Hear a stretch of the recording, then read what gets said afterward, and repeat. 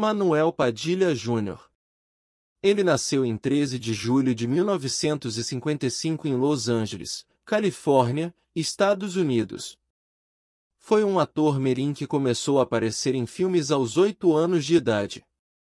Ficou muito conhecido por interpretar o menino Jai, na série de Tarzan nos anos 60, onde ele contracenava com Ron L.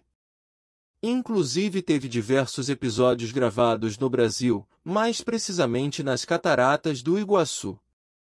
Ele contracenou também com Mike Henry em dois filmes de Tarzan na década de 1960. Faleceu aos 52 anos em 29 de janeiro de 2008 em Pomona, Califórnia, Estados Unidos. Com referência à sua morte, Existem rumores sobre ter sido em decorrência a um tumor cerebral ou um câncer de cólon.